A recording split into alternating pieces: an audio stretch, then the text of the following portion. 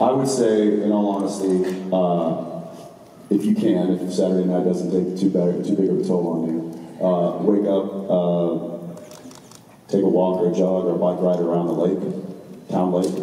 If uh, if you're a little bit more adventurous, run a stand-up paddleboard, and uh, and and head out there and uh, enjoy the city views from the water.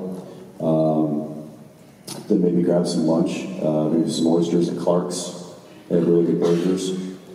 Then maybe head out to uh, a little place called Family Business Brewery.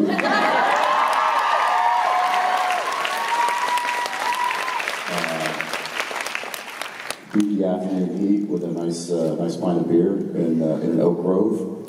Um, then after that, maybe head back downtown and uh, watch the bats fly out from underneath the South Congress Street Bridge, which is, uh, they call it Bat City. There's over a million bats every single night that fly out from underneath the bridge right downtown and go off into the night to eat mosquitoes. Thank you, thank you, bats. Uh, it's quite a sight.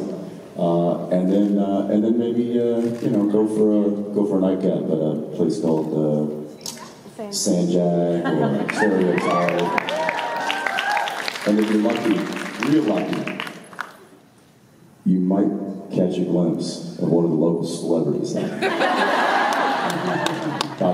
Matthew McConaughey.